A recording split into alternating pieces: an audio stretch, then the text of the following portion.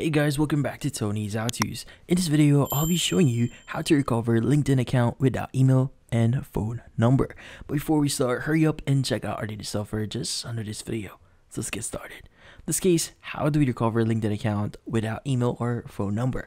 Well, the first thing you need to do here is we need to first use our computer, but later on, I'll be showing you how to actually do this.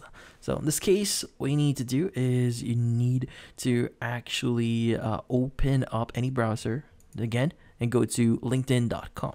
Now at the very bottom, you should see a forgot password link. Go ahead and click on it.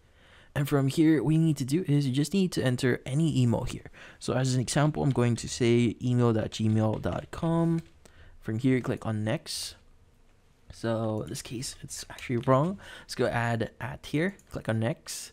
From here, it's going to say quick security check here. Go ahead and complete the whole thing here. Click on verify. From here, choose the correct way up here, and that should verify your.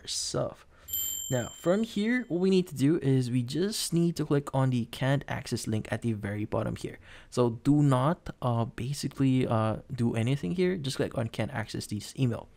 Now from here, this should actually show you a QR code, which in this case, what you need to do is you just need to open up your camera.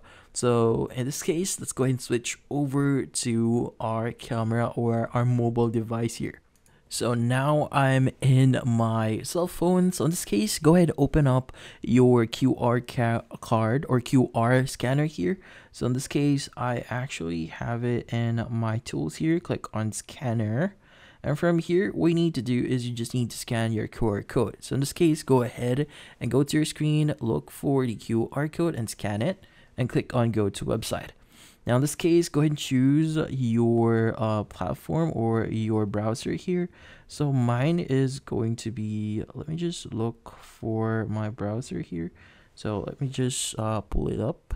So in this case, if that doesn't work or the uh, scanner that you're using is not working, you can actually use any other app that you see on Google Play Store, open it up, and again, scan that QR code. In this case, what you need to do is you just need to basically click on the link that you see here and it should open up your browser.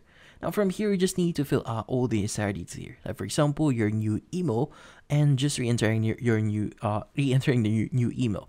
Now you might also need to provide your public URL here, which in this case will be posted on your previous um, uh, profile in LinkedIn. So in this case, it's going to provide those details.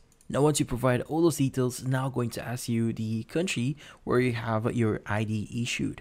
In this case, you need to verify yourself here. That's why it's actually asking for your ID. In this case, go and choose your country and from here, click on continue. Now from here, just click on verify with persona here and just follow all the steps that you'll be seeing on the next steps.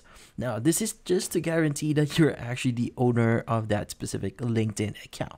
Now in this case, once you complete the whole thing here, they will review your application or your ticket here and they will reach out via your email regarding your recovery. Now in this case, you should be able to have a conversation with them or have a connection with them via email regarding on how to recover it and what's what's going to happen next.